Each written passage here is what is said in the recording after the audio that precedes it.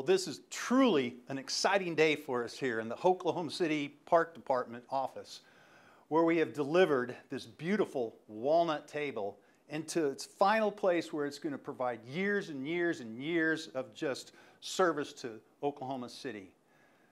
It's been a long process, and it first started when this tree was just a log in the middle of a park in Oklahoma City. And it was this old dead log, didn't look like much, but the Oklahoma City Park Department wanted to do something with it. And so it's taken so much time where we first hauled it to a mill and we had a mill operator slice it up into slabs and it just really, that first time, it exposed just how beautiful the inside of this tree was. I mean, hard to imagine what it looked like and what it looked like from the inside. And so then that started the process of drying the wood. And then we worked with some local providers where they donated a lot of their time and material and they planed it out. You started the smoothing out of the process. And after that, it was sanded. And one of the last things that we, of course, had to do to really enhance the beauty of the wood is that final process of sealing it.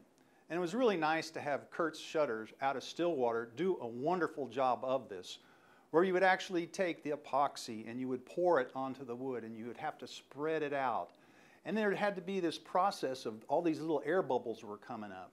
And then you use the flame to knock those bubbles down.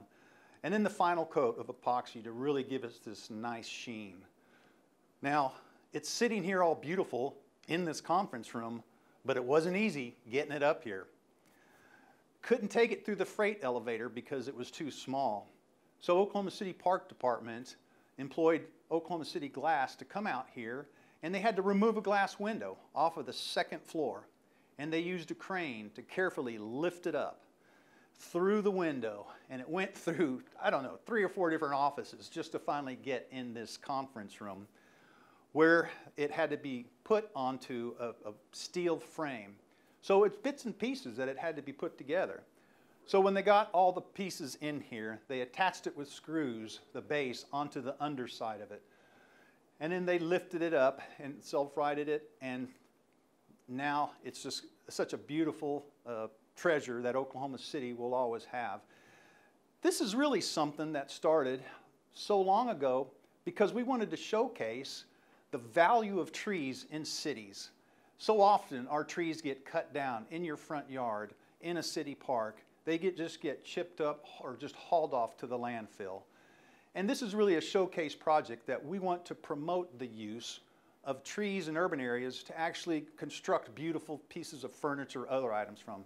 So let's say you have a particular tree that you love that for whatever the reason it has to be removed. One of the things that you can do is to go to Oklahoma Forestry's webpage and find a map of where all the local sawmills are scattered all across the state. Reach out to them, say if, ask them if they wouldn't be able to mill out that tree. Then work with your tree care company, your local arborist, to make sure that they know what is needed at the mill so they can remove that tree to provide that mill with the most wood that they can make whatever product you'd like to make out of it.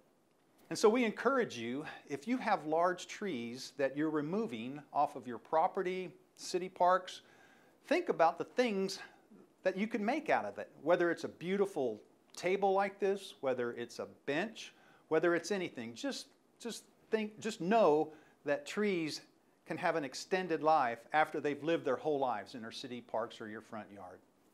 Well, I think from the perspective of, of being a, a Parks and Recreation professional since uh, 1976, basically a bicentennial professional in, in Parks and Recreation, it's, it's always been my uh, goals to make sure that we are on the cutting edge of recycling and reuse of anything that happens in the Parks and Rec profession. So being able to have this table in, in the Parks and Recreation Conference Room is, is very dynamic to us. It, it, it proves what can be done and, and not just throw things away or if we can be proactive and have uh, tree harvesters on contract so that we can get them out and get them to explore and see what the realities and the availability is, that, that makes us even better stewards of the land, and we know that that, that uh, old growth will be used for some productive measure rather than mulch. Well, once again, this has been a long project that it's just been a real pleasure to be involved in. And we really owe a great deal of gratitude for all those producers and all those people that volunteered their time, their services, their material to make this project what it is today. And I would just like to personally thank them for all that they've done. It's been a great partnership between the Oklahoma City Park Department, Oklahoma Forestry Services, and again, all those wonderful people that played such a big part to make this happen. We hope you enjoyed this video. It's part of our Oklahoma Gardening YouTube channel.